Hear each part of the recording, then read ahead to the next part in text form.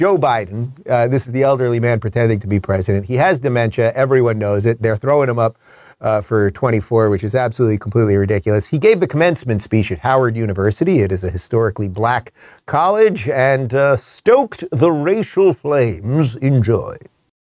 To stand up against the poison of white supremacy, as I did my inaugural address, to single out as the most dangerous terrorist threat to our homeland is white supremacy.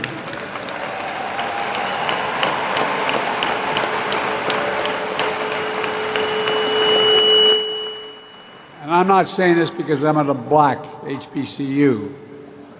I say it wherever I go. Oh, shut up, you old windbag. That's exactly why you're saying it, because you're a pandering old buffoon. And what's funny is that line was obviously not written on the speech, right? Like, that's the part. I'm not saying this because I'm uh, in a room with a whole bunch of black people, but screw Whitey. Yeah, okay, yeah, we love it. We love it. Uh.